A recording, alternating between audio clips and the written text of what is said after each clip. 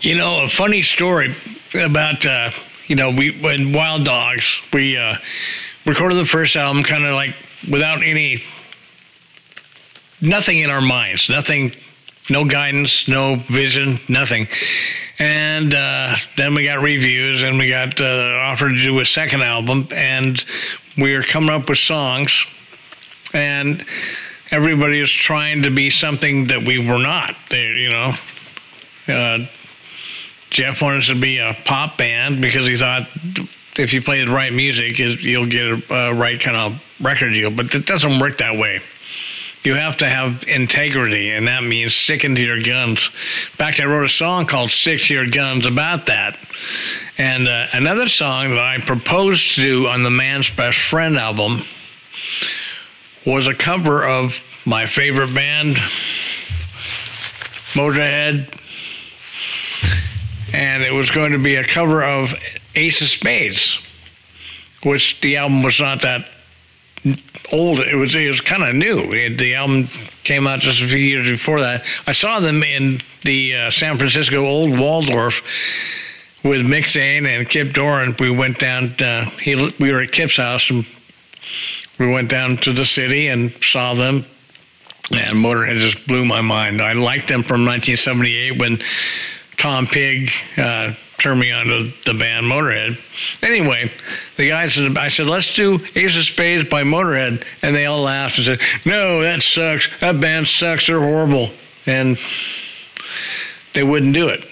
And so what I did was I went home, sneaky me, went right home. I wrote a song almost identical to Ace of Spades I brought that to the practice the next day because we practiced four times a week, which was really songwriting. It was like a songwriting club to begin with, where we get together and then we flesh out the song. And I came up with this idea, and I didn't. They were not believing in me. They did. I didn't think they lost faith in me, or they were jealous. I was quite a spectacle on stage then, and I'm proud, proud of that because people say that now. And so I showed them a song. It was, I said, I got this great song. And if you listen to it, I'm going to sing to it in just a moment. It's almost identical, but they loved it. Said, that's a great song. And we came up with an arrangement. And I never told them. And that, that told me something that they didn't know what Motorhead really was all about. I mean, who doesn't know Ace of Spades if they're into heavy metal? Back then, if you were a punk rocker, you knew about Motorhead. Not in 1982, 83, really. And uh,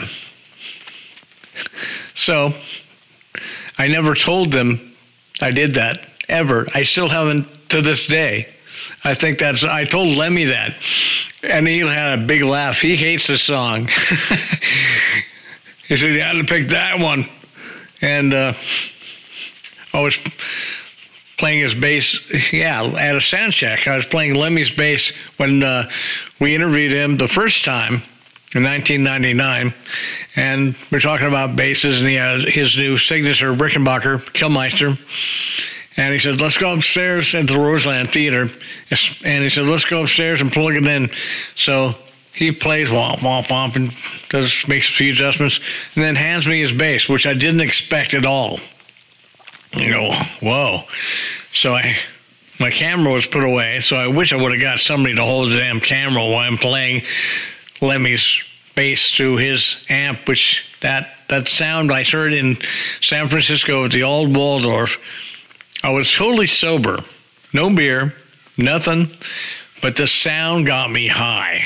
I felt completely wasted after that show from the sound. And it didn't hurt your ears, it was just loud as hell. And it penetrated your cells. And uh, anyway, this is that song. I want you to believe in me. And I'll talk to you later.